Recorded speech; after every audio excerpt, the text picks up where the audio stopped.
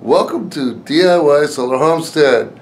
Welcome to the channel. Please subscribe and click that little bell. See all the notifications coming up soon. If you want to make your own electricity, please uh, click on the links down below. And you'll see all of the different links that I have down there. Making free heat, free electricity, free hot water, and all the good stuff. And lately it's been the indoor garden. But here, I finally got, I got some army shirts in. I'm excited. I'm stoked. We get the lens turned around. Look at that.